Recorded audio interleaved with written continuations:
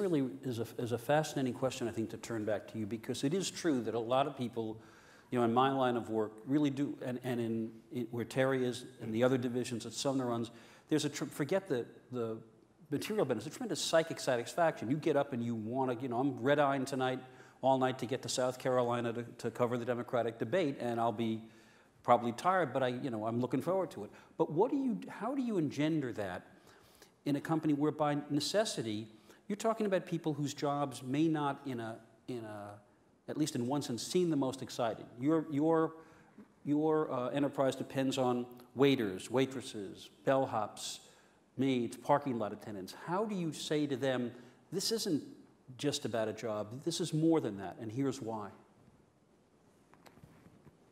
This panel is about that human capital thing in building companies. That's what the four of us are sitting up here for.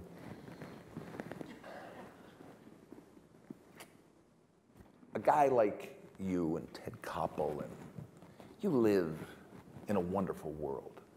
You are at the center of enormous, dynamic news and change in the world. But the rest of the people at CNN and CBS, they're at the desk. They're like the rest of us. They're banging away.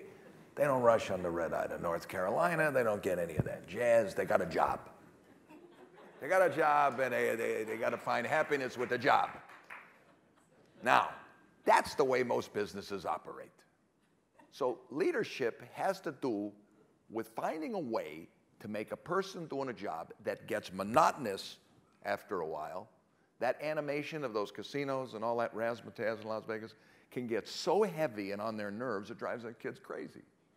You know, it may be fine for two days, three days, but after a while you say, Jesus, enough already with the smoke and the blow. So, how do we make normal people have a good time and find satisfaction and most of all, self worth in doing ordinary jobs? Right.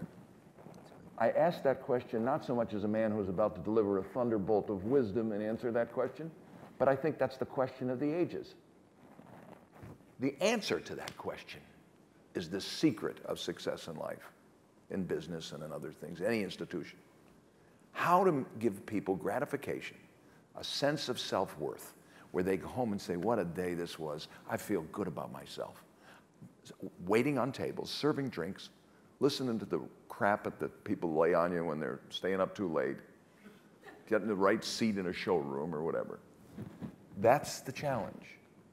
And for every one of us that face that challenge, and all of us do, even Sumner, as high up in the food chain as he is, has to worry about that. He has to worry about that with all the people he touches. Certainly Les Moonves and Terry Semel and I worry about it. And the only thing that I, I can say is that we go back to the most fundamental truth of all. People in life, at work, at home, and at play, they relate to simple ideas. Gratification is, is something that can be defined. It's doing the right thing, making someone else happy, seeing your actions extend into the face the, the moment, the life of someone else at a table. A waitress is serving food in a, in, a, in a dining room, and all of a sudden she gets into an exchange with customers and they're telling them where they're from. And they feel good because they know that they're just doing the right thing, like Will Brimley said in that Quaker thing. You're doing the right thing, you know. And, and so we're, we're, we're trying to find ways for our employees to have instant gratification, even if their boss isn't there to watch them and we explore these techniques. The most important one is called storytelling.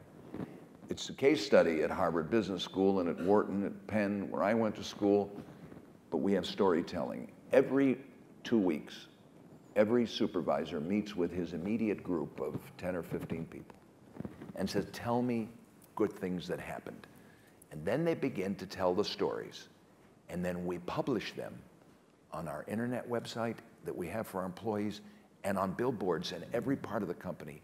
We publish the stories of Judy and Sarah, Nick, and, and Morales, and Garcia, and Wong, and Ching, and all of the other people that work in the place.